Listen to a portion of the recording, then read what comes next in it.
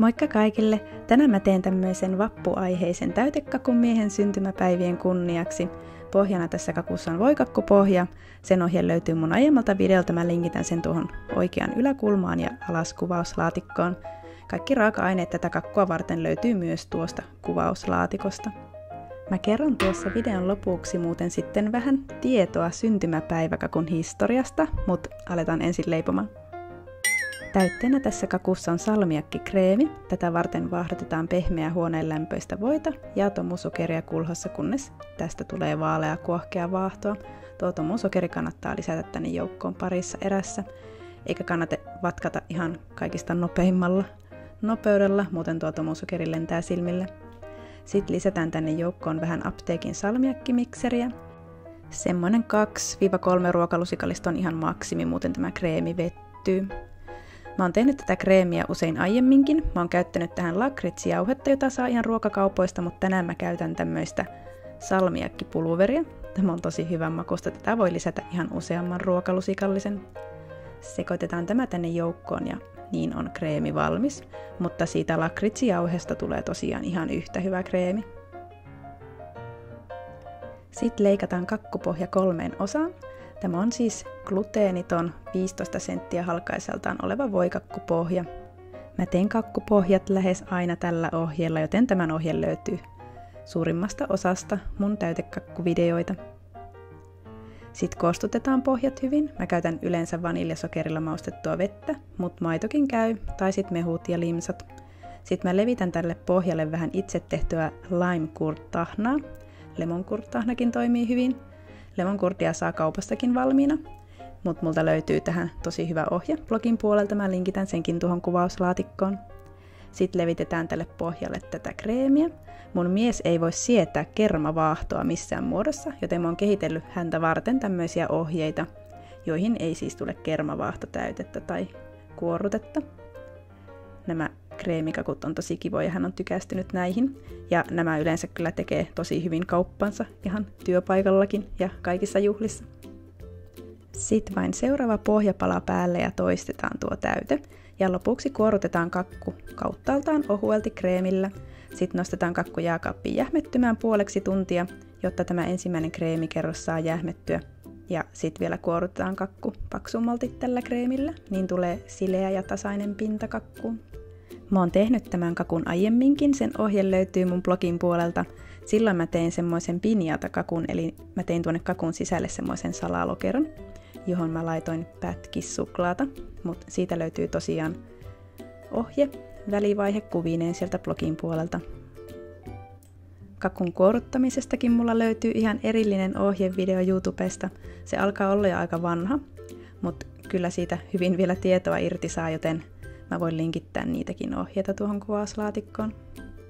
Tämmöinen L-paletti on kakun kuoruttamisessa ihan korvaamaton. Näitä saa nykyisin myös ihan ruokakaupoista. Sitten kun tämä toinen kreemikerros on valmis, niin ei nostetakaan kakkua jääkaappiin, vaan kiinnitetään tuonne reunoille tämmöisiä lakritsisтрösseleitä. Mä ripottelen näitä ensin lautaselle ja sitten vain painellaan ne kiinni tähän pehmeään kreemiin.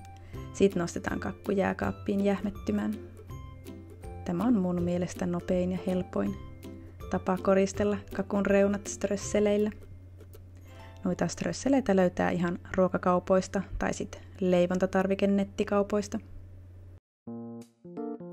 Mä kuorutan tämän kakun kik patukoista tehdyllä kuorutteella, eli otetaan 6 kik patukkaa ja lisätään joukkoon 5 ruokalusikallista kermaa. Sitten lämmitetään tätä seosta mikrossa puolella teholla 30-60 sekunnin pätkissä välillä sekoittain, kunnes tämä on tasaista. Tämän seoksen voi sulattaa myös liedellä, miedolla lämmöllä koko ajan sekoittaen. Siinä tätä seosta on vähän helpompi vahtia, mutta kyllä tämän sulattaminen mikrossakin onnistuu. Näin on kuorute valmis.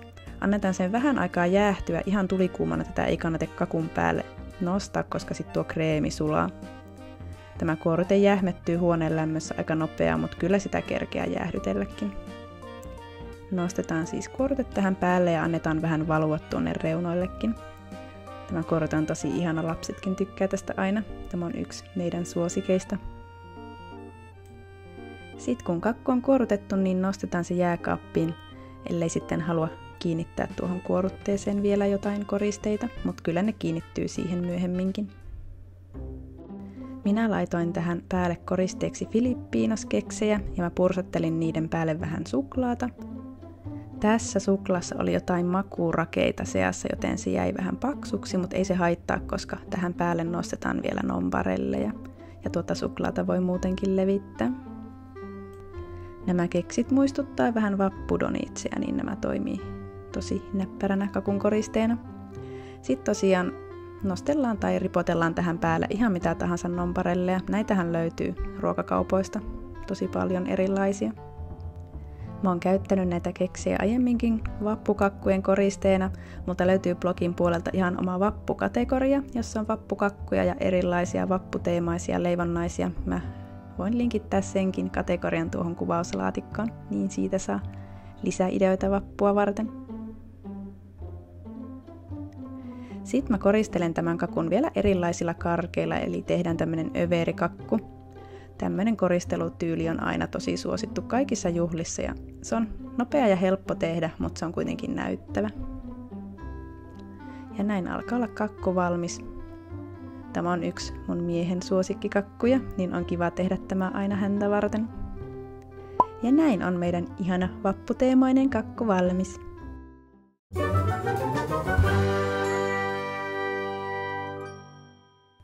Uskotaan, että ensimmäinen varsinainen syntymäpäiväkakku tehtiin Saksassa keskiajalla. Lasten syntymäpäiväjuhlia kutsuttiin nimellä Kinderfest. Alun perin kakku oli hienostumaton leivän tapainen tuote, myöhemmin ilmaantui makeampi versio Geburtstagstorten. 1600-luvulla kakut tehtiin kerroksittain vähän niin kuin nytkin. Niihin käytettiin muun muassa kortetta ja koristeena oli muun muassa kukkia – Tämmöiset kakut olivat kuitenkin hyvin hintavia, eikä niihin ollut monella varaa. 1700- ja 1800-luvuilla raaka-aineet tulivat kuitenkin halvemmiksi, jolloin muillakin oli kakkuihin varaa. On esitetty teoria, että kynttilöiden laittaminen kakun päälle olisi peräisin antiikin Kreikasta. Kreikkalaiset tekivät pyöreitä kakkuja Artemis jumalattaren kunniaksi, ja kakun kynttilöiden savu vei heidän rukouksensa perille jumalille taivaalle. Jotkut taas ovat sitä mieltä, että kynttiläperinne on myöskin kotoisin Saksasta. Kynttilä kakun päälle laitettuna symboloi elämän valoa. Saksalaisilla oli tapana laittaa lapsen syntymäpäiville yksi ylimääräinen kynttilä kakun päälle, eli jos lapsi täytti seitsemän vuotta, niin kynttilöitä oli kahdeksan. Tämä kahdeksas kynttilä symboloi siis sitä toivetta, että lapsi eläisi vielä seuraavankin vuoden. Mutta näin toivottavasti tykkäsit videosta. Kiitos tosi paljon kun tulit käymään tällä minun YouTube-kanavalla. Moi moi!